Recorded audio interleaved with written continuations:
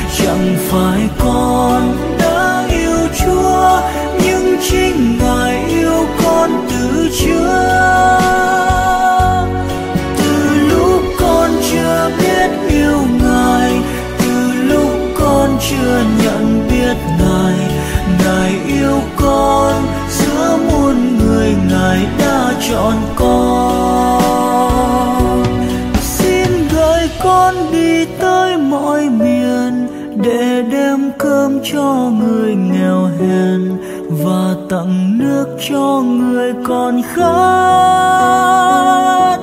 Xin gửi con vào khắp muôn nhà, tặng thuốc thang cho người bệnh tật, tặng chiếu chăn cho người lạnh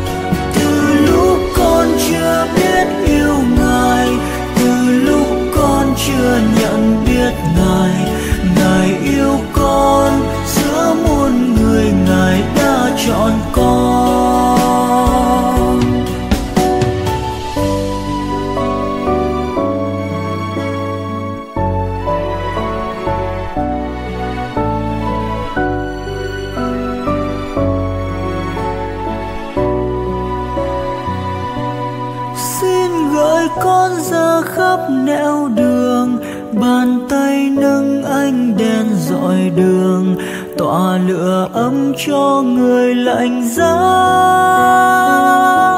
xin gửi con ra khắp nẻo đường, cảm thông chia vui buồn phận người và sớt chia cho đời này.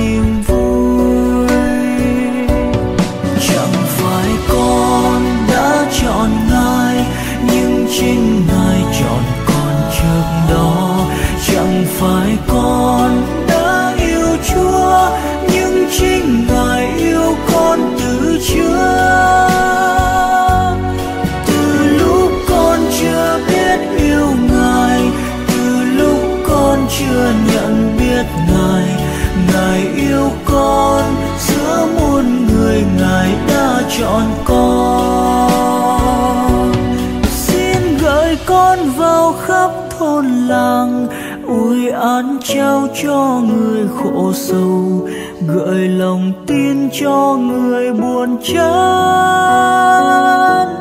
Xin gợi con vào khắp buồn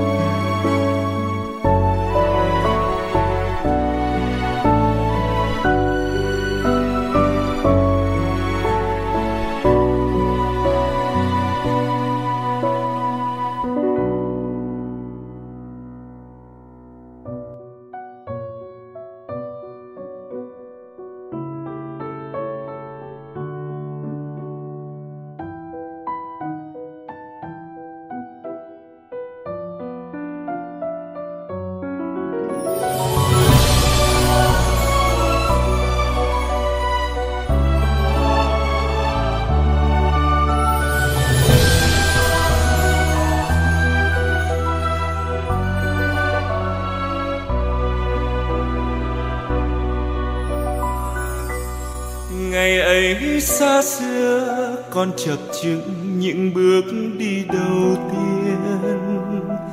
Ngài đã cho con tay mẹ hiền nâng bước con bình yên.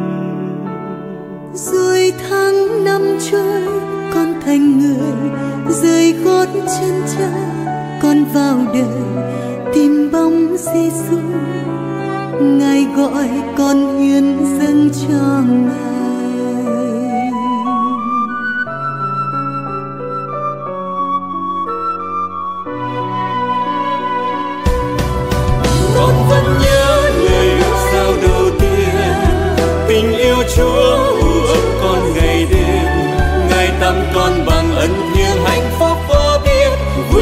Đời dâng hiến.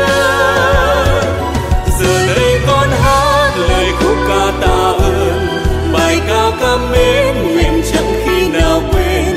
Dù con bất xứng nhưng ơn chúa mãi hoài, tràn chứa trên đời con.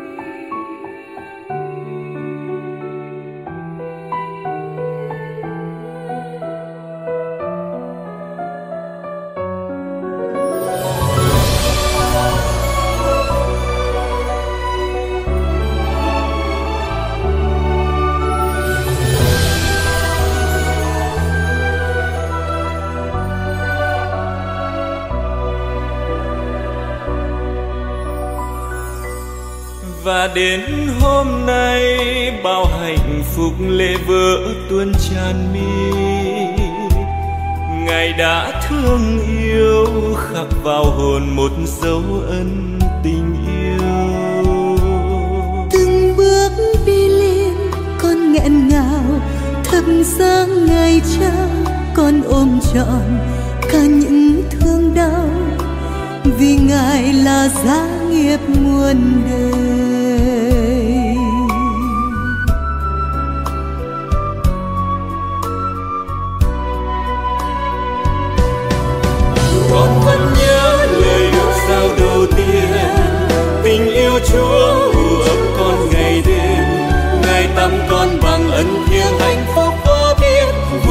Nơi đời dâng hiến.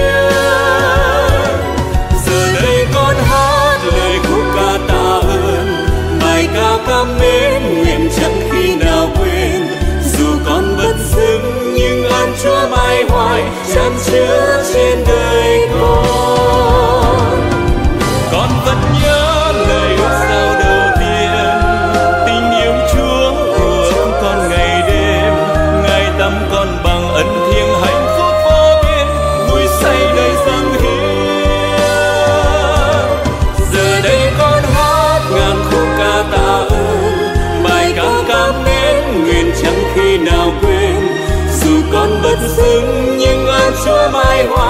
Hoài tràn chứa trên đời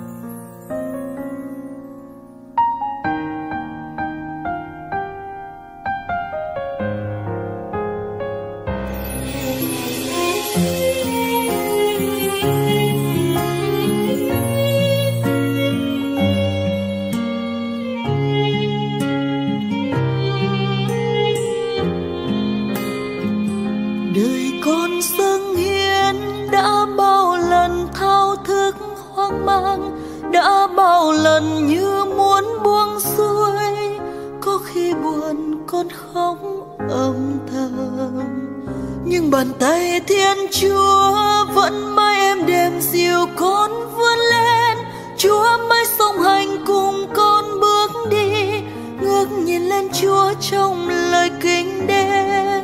Giọt nước mắt bỗng dưng vỡ òa, gạt đi vẫn còn bước theo Chúa. Dù có đau thương, xin mãi trung tin trong ân thánh ngài. Lòng chỉ còn chỉ mong yêu Chúa. Gạt đi cay đắng con quyết theo Chúa. Dù có trong gai, xin mãi dâng hiến.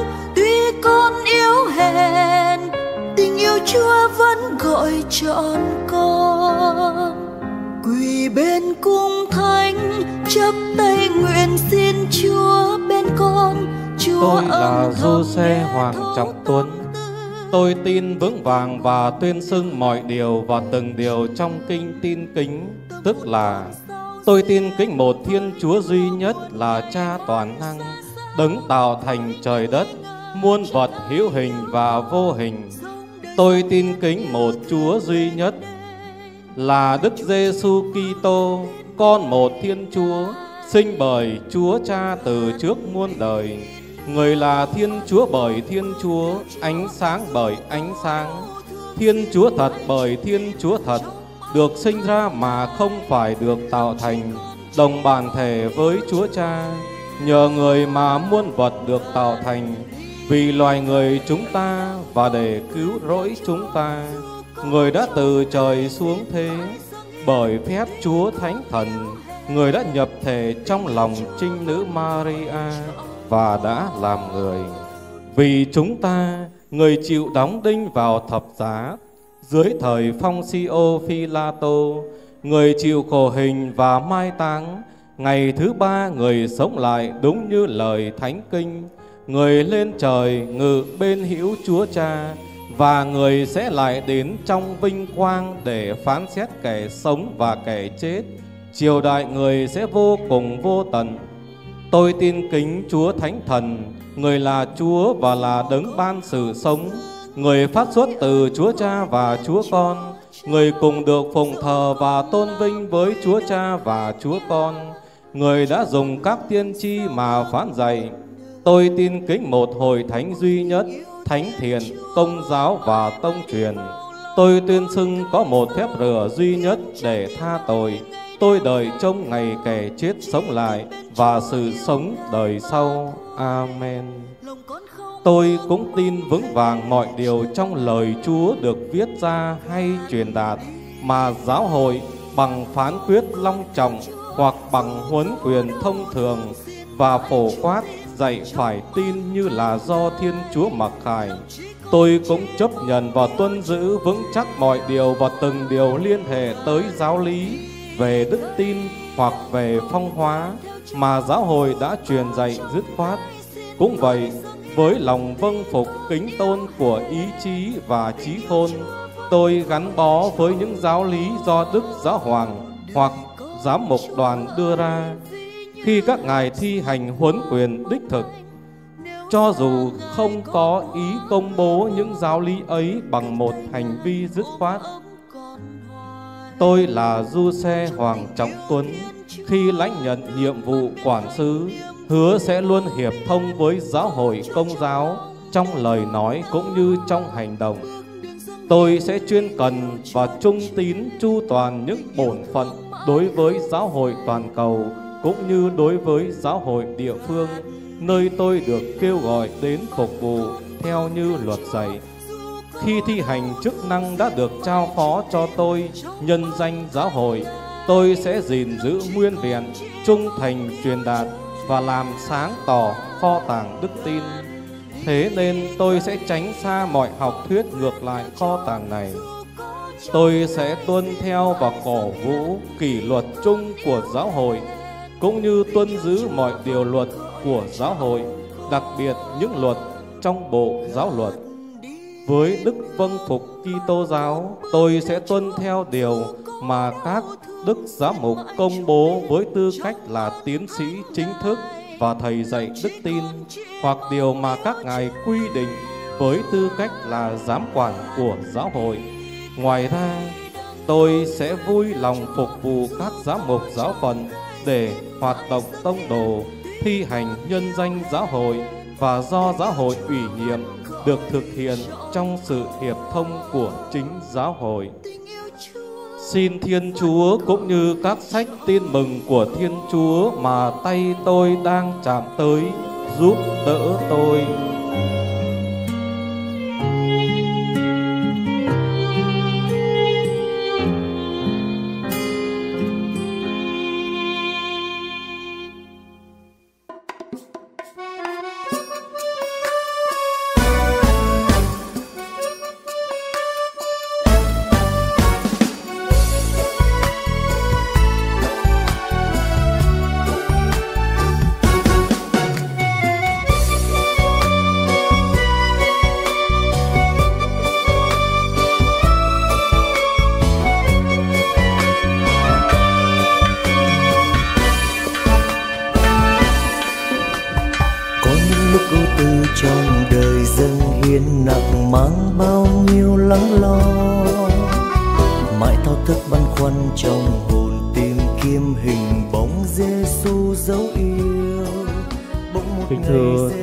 Đoàn phục vụ.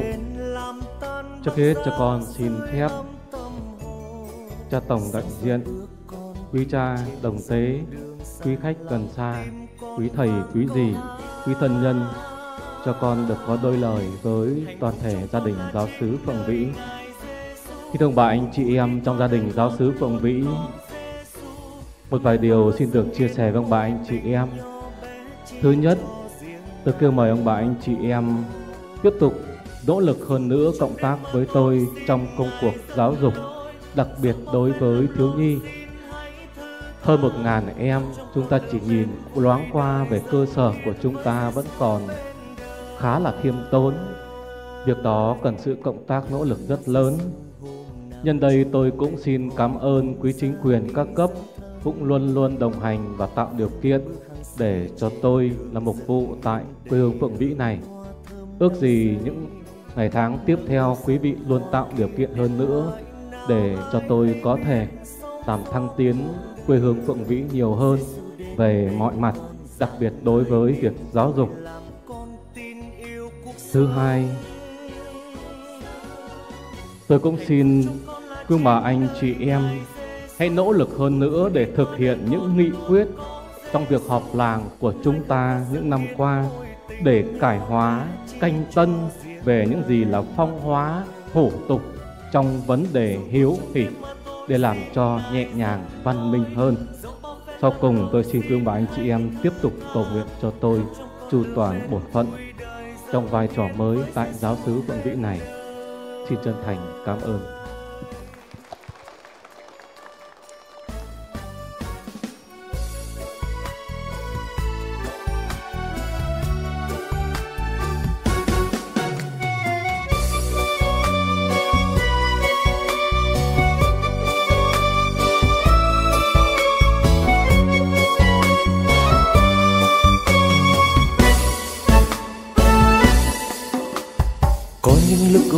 Trong đời dân hiến nặng mang bao nhiêu lắng lo. Mãi thao thức băn khoăn trong hồn tìm kiếm hình bóng Giêsu dấu yêu. Bỗng một ngày Giêsu chợt đến làm tan băng giá sưởi ấm tâm hồn. Bài trích sách ngôn sứ Zakaria. Đức Chúa các đạo binh phán thế này các nước và cư dân trong các thành phố lớn vẫn còn tuôn đến. Dân thành này sẽ đến thành khác mà nói rằng, nào ta cùng đi làm cho nét mặt Đức Chúa dịu lại, và tìm kiếm Đức Chúa các đạo binh, cả tôi nữa tôi cũng đi. Các dân đông đảo và các nước hùng cường sẽ đến tìm kiếm Đức Chúa các đạo binh ở Jerusalem và làm cho nét mặt Đức Chúa dịu lại. Đức Chúa các đạo binh phán thế này, trong những ngày ấy, mười người đàn ông thuộc mọi ngôn ngữ trong các dân tộc sẽ níu lấy áo của một người Juda mà nói, chúng tôi muốn đi với anh em, vì chúng tôi đã nghe biết rằng Thiên Chúa ở với anh em. Đó là lời Chúa thì tổng muôn dân mau hát lên, ca ngợi thiên chúa. Ngày ngày truyền bao tới khắp nơi, ơn ngài cứu độ. Vinh quang ngài, hãy nói lại cho muôn dân. Kỳ công ngài, loan cho muôn nước được hay nhau loan báo danh ngài là chúa cao quang. Để cho muôn dân công trình tay chúa đã làm thì tộc muôn dân mau bước chân dâng về thiên chúa. Quyền lực của Chúa với ánh quang huy hoàng của Ngài. Mau dâng tặng xứng đáng cùng danh cao sang. Ngàn lễ vật tay mang dâng trước hành lang. Cùng nhau loan báo danh ngài là chúa cao quang. Để cho muôn dân công trình tay chúa đã làm tộc muôn dân, mau bay thân tôn thờ thiên chúa. Toàn địa cầu hỡi tới thanh nhan, run sợ kính thờ. Mau xưng rằng chính chúa là vua muôn dân.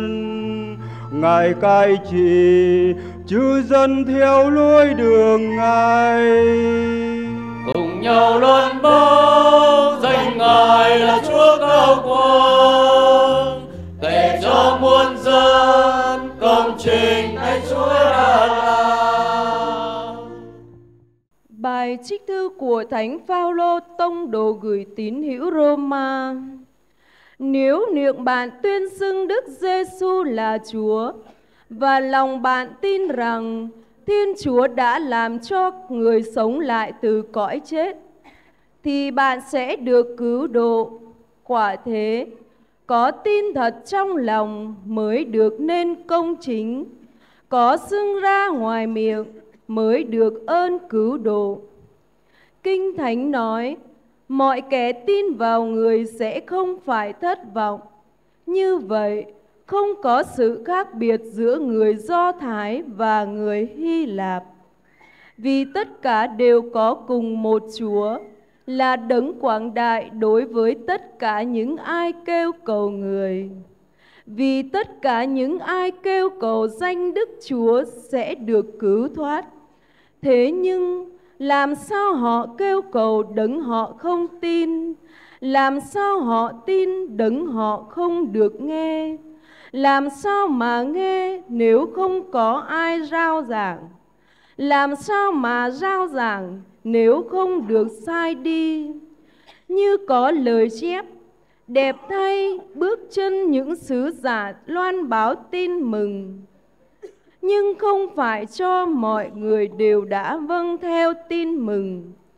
Chính ngôn sứ Isaiah đã nói, lạy Đức Chúa, ai đã tin khi nghe chúng con giảng. Ấy vậy, có đức tin là nhờ nghe giảng, mà nghe giảng là nghe công bố lời Đức Kitô. Nhưng tôi xin hỏi, phải chăng họ đã không được nghe giảng? Có chứ, tiếng các ngài đã dội khắp hoàn cầu và thông điệp loan đi tới chân trời góc biển. Đó là lời Chúa.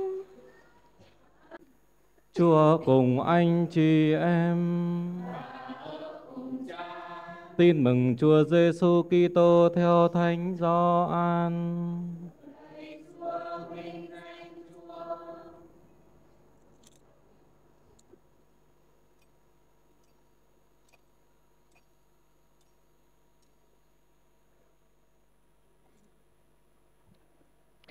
Khi ấy Đức Giêsu ngước mắt lên trời và cầu nguyện rằng: Lạy Cha, con không chỉ cầu nguyện cho những người này, nhưng còn cho những ai nhờ lời họ mà tin vào con, để tất cả nên một như Cha ở trong con và con ở trong Cha, để họ cũng ở trong chúng ta. Như vậy thế gian sẽ tin rằng Cha đã sai con. Phần con, con đã ban cho họ vinh quang mà cha đã ban cho con, để họ được nên một như chúng ta là một. Con ở trong họ và cha ở trong con, để họ được hoàn toàn nên một. Như vậy thế gian sẽ nhận biết là chính cha đã sai con và đã yêu thương họ như đã yêu thương con. Lạy cha, con muốn rằng con ở đâu thì những người cha đã ban cho con cũng ở đó với con, để họ chiêm ngưỡng vinh quang của con, vinh quang mà cha đã ban cho con, vì cha đã yêu thương con trước khi thế gian được tạo thành. Lạy cha là đấng công chính, thế gian đã không biết cha, nhưng con, con đã biết cha, và những người này đã biết là chính cha đã sai con. Con đã cho họ biết danh cha và sẽ còn cho họ biết nữa để tình cha đã yêu thương con ở trong họ và con cũng ở trong họ nữa. Đó là lời Chúa.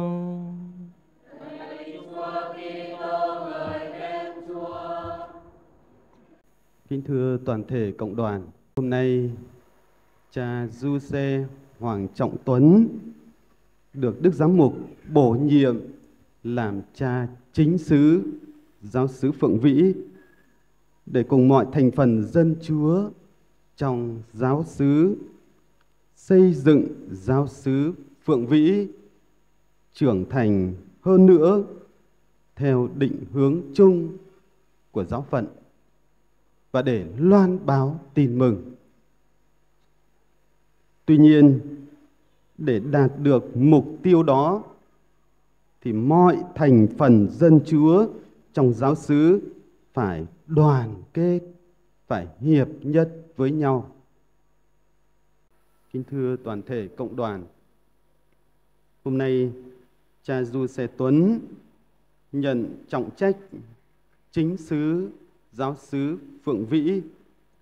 Chúng ta cầu xin Chúa cho cha Du Xe và mọi thành phần dân Chúa trong giáo xứ luôn sống tinh thần hiệp nhất, hiệp thông với Chúa và hiệp thông với nhau để cùng nhau tham gia xây dựng giáo xứ trở thành cộng đoàn đức tin vững mạnh, cộng đoàn phụng tự sốt sáng, cộng đoàn bác ái yêu thương và cộng đoàn hăng say loan báo tin mừng. Anh chị em thân mến, Thiên Chúa luôn yêu thương dân người và ban cho họ các vị mục tử để dẫn dắt họ theo đường lối Chúa. Trong tâm tình khiêm tốn nài xin, chúng ta dâng lên người các ý nguyện của chúng ta. Chúng ta hãy cầu xin Chúa cho hội thánh hiền thê của Đức Kitô luôn có những vị mục tử như lòng Chúa mong muốn để hội thánh được xây dựng và phát triển trong sự hiệp nhất. Xin Chúa nhậm lời chúng con. Chúng ta hãy cầu xin Chúa đoái thương đến Đức Thánh Cha Francisco và Đức Thánh Cha Đa Minh, giám mục giáo phận chúng ta. Xin người thương che chở và ban cho các ngài muôn hồng ân để các ngài hướng dẫn đoàn chiên được Chúa trao phó. Xin Chúa nhậm lời chúng con. Chúng ta hãy cầu xin Chúa cho giáo xứ chúng ta hôm nay hân hoan đón mừng cha quản sứ mới. Xin Chúa liên kết cộng đoàn chúng ta trong tình yêu và sự hiệp nhất của những con cái Chúa. Xin Chúa nhầm lời chúng con. Chúng ta hãy cầu xin Chúa cách đặc biệt cho cha Du Xe Hoàng Trọng Tuấn, cha quản sứ mới của chúng ta. Xin Chúa thương gìn giữ và ban cho Ngài muôn phúc lộc, để Ngài chu toàn trách nhiệm mục tử mà Chúa trao phó. Xin Chúa nhận lời chúng con. Lạy Chúa là cha nhân ái, xin đoái thương nhậm lời dân Chúa khẩn cầu và ban cho họ tràn đầy các ân huệ mà họ hằng tin tưởng nài van. Chúng con cầu xin nhờ Đức Kitô Chúa chúng con. Giêsu hôm nào chiều mến gọi con ra đi dẫn thân với những bước hăng say trên đường dân hiên đầy hương hoa thơm đắm say, ngỡ đâu rằng hoa kia đẹp mãi nào ai hay biết sóng gió cuộc đời. Giêsu đến bên con dạng người niềm vui làm con tin yêu cuộc sống. Hạnh phúc trong con là chính nơi ngài Giêsu buồn vui đi qua đời con luôn có Giêsu mai khao khát dâng hiến môi tình nhỏ bé chỉ cho riêng ngài mà thôi bước trong đêm mơ tối, xin ngài dẫn lối. Dẫu bao phen lầm lỗi, xin hãy thứ tha. Khắp trong con lửa mến vui đời dâng hiến với Giêsu bên đời. Hạnh phúc trong con là chính nơi ngài Giêsu buồn vui đi qua đời con luôn có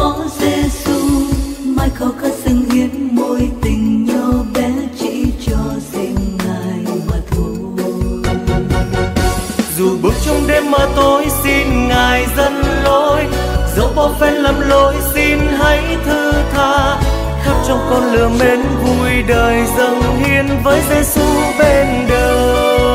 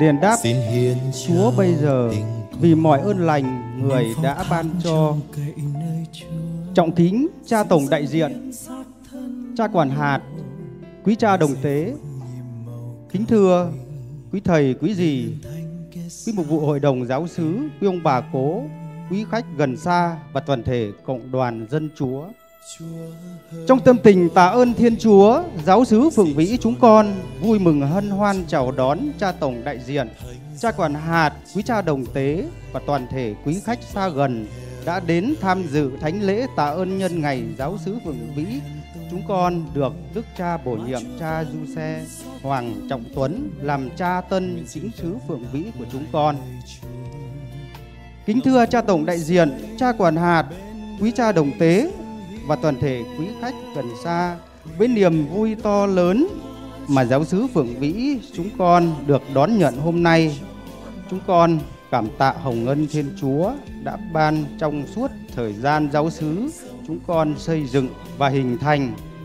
Dù có gặp biết bao là khó khăn thử thách, nhưng với ơn Chúa trợ giúp, giáo sứ chúng con vượt qua để sống bảo vệ đức tin kế đó qua sự cầu nguyện quan tâm, giúp đỡ của đức cha giáo phận, cha tổng đại diện, cha quản hạt, quý cha trong và ngoài giáo phận. Đời sống đức tin của chúng con, đức cậy, đức mến giáo xứ chúng con được tiếp thêm sức mạnh để vững bước trên con đường sống làm chứng cho chúa. Đặc biệt, niềm vui đó được nhân lên khi giáo xứ chúng con được đức cha đa minh hoàng minh tiến bổ nhiệm cha du xe hoàng trọng tuấn làm cha tân chính sứ của giáo xứ chúng phượng vĩ chúng con. Đây là hồng ân trọng đại là ơn cao cả nhất mà chúa ban để nhờ đó đời sống đức tin đức cậy đức mến ngày càng thăng tiến hơn. Trong tâm tình cảm tạ tri ân, con xin phép được đại diện cho Hội đồng Mục vụ Giáo xứ cùng toàn thể cộng đoàn giáo dân giáo sứ Phượng Vĩ trước hết xin được cảm ơn Đức cha Đa Minh Hoàng Minh Tiến, chủ chăn giáo phận đã luôn quan tâm giúp đỡ giáo sứ chúng con cách này cách khác để giáo sứ chúng con có được ngày vui trọng đại vì lý do mục vụ Đức cha hôm nay không đến để hiện diện trong thánh lễ nhưng chúng con biết Ngài vẫn luôn cầu nguyện và hiệp ý cầu nguyện trong thánh lễ hôm nay. Chúng con cảm ơn cha tổng đại diện, cha quản hạt, quý cha đồng tế đã chẳng quản đường xá xa xôi, đã thu xếp thời gian quý báu để cùng về chung vui với giáo xứ chúng con và hiệp dâng thánh lễ tạ ơn. Chúng con không biết lấy gì đền đáp ân huệ này, nguyện xin Thiên Chúa ba ngôi Đức Maria Thánh cả Du Xe chúc lành và ban nhiều ơn khôn ngoan cho cha tổng, quý cha đồng tế, à, cha quản hạt. Chúng con xin hết lòng cảm tạ tri ân. Thứ đến, chúng con cũng xin được cảm ơn quý thầy, thầy, quý dì, quý ông bà cố, quý khách gần xa, quý chức, quý cộng đoàn đã thu xếp thời gian về với giáo sứ chúng con để cùng tham dự thánh lễ và chúc mừng giáo sứ chúng con. Chúng con xin được chân thành cảm ơn.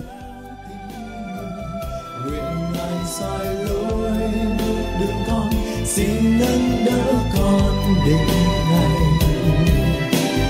mãi sống trong đời hiến dân.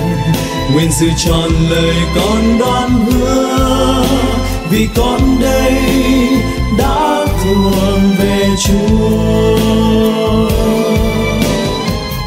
Này bao mơ ước tim nồng say, ra đi dắt gieo tình mừng nguyện ngài soi lối bước đường con, xin nâng